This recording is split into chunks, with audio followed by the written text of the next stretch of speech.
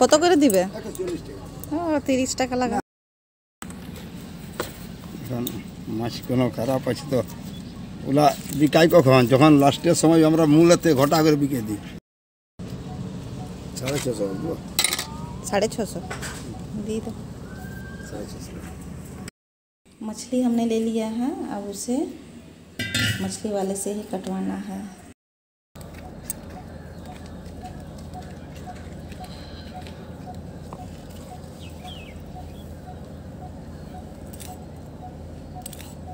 আচ্ছা ছোট ছোট মাছ ছিল বাঁশপাতা মাছ हम्म মনে করো চল্লিশ টাকা কয়েক ষাট টাকা করে সব বিকাই গেল ঝাড়িয়ে ছোট ছোট কাতলা গুলো তো একশো টাকা করেই দিয়ে যায় ছোটো কাঠ छोटे छोटे ये size hi my YouTube family कैसे हो आप सब आई होप कि आप लोग अच्छे होंगे मैं आशा स्वागत करती हूँ आप सभी का अपने चैनल आशा की दुनिया में तो गाइज़ आज का ब्लॉग में हम बनाएंगे छोटे साइज़ का कतला मछली आपने देखा ही होगा अभी अभी मछली वाला आया था तो हमने दरवाजे से ही मछली ख़रीदा।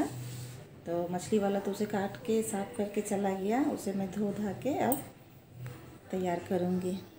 ये जो छोटे साइज़ का कतला मछली आता है, उसे हम लोग सिर्फ़ सरसों, टमाटर और हरी मिर्च डाल के बनाते हैं, क्योंकि हमारे घर में ऐसे ही खाना सभी पसंद करते हैं। सबसे पहले मछली में हल्दी और नमक लगाकर छोड़ देना है। उसके बाद हम उसके लिए मसाला तैयार करेंगे। छोटे साइज़ का कतला मछली बनाने के लिए हमें चाहिए होगा सरसों। मैंने काला सरसों लिया है। अगर आप चाहो तो पीला सरसों भी ले सकते हैं। हरी मिर्च और कुछ टमाटर और दो चार मिर्च अगर आप चाहें तो काट के उसमें डाल सकते हैं। उससे उसका फ्लेवर और अच्छा आता है। सबसे पहले हम सरसों को ग्राइंड करेंगे। काला सरसों में हम थोड़ा सा नमक डाल के ग्राइंड करेंगे, क्योंकि कहते हैं कि काला सरसों को ऐसे ही पीसने से थोड़ा उसमें कड़वापन आ जाता है और नमक डाल देने से वो चीज़ नहीं होती।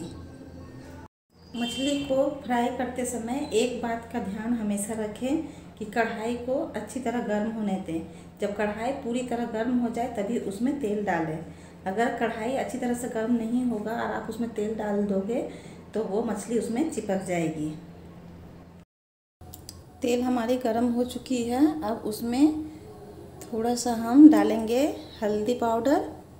हल्दी पाउडर डालने से छीटा कम मारेगा। अब उसमें हम डालेंगे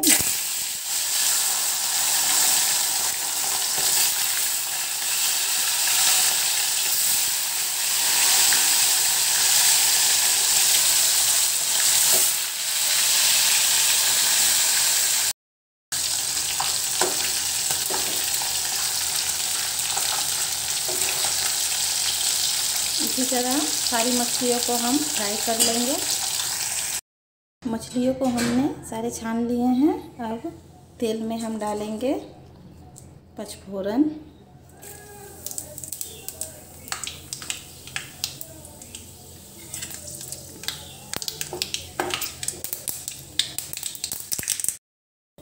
उसके बाद उसमें डालेंगे टमाटर।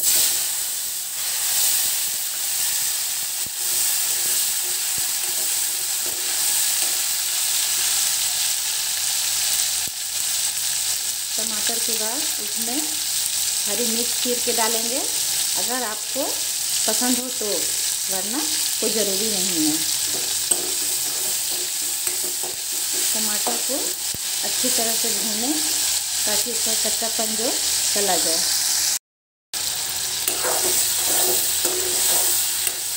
टमाटर हमारी पक चुकी है। देखिए। अब उसमें हम जो सरसों को पीस के रखे थे, उसे ऐड करेंगे।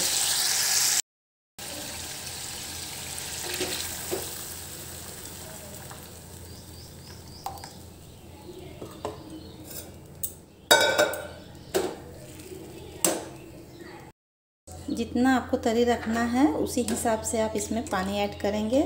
अब इसमें डालेंगे हम नमक। नमक स्वाद अनुसार। और थोड़ा कम ही डालेंगे क्योंकि सरसों को पीसते समय भी हमने उसमें थोड़ा सा नमक मिलाया था।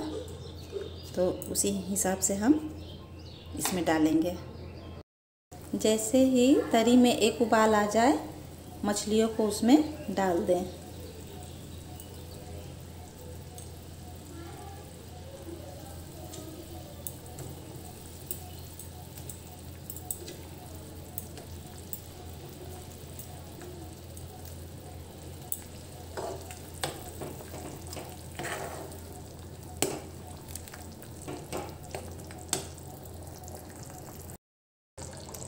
मछली हमारी हो गई है तैयार। अब हम गैस को ऑफ़ कर देंगे। तो गाइस आज का रेसिपी अगर आपको अच्छा लगे तो प्लीज़ वीडियो को एक लाइक ज़रूर दीजिए। और अगर अभी अभी आपने हमारा चैनल मेरा मतलब है पहली बार अगर आप मेरे चैनल में आए हैं तो प्लीज़ मेरे चैनल को सब्सक्राइब करें। Thank you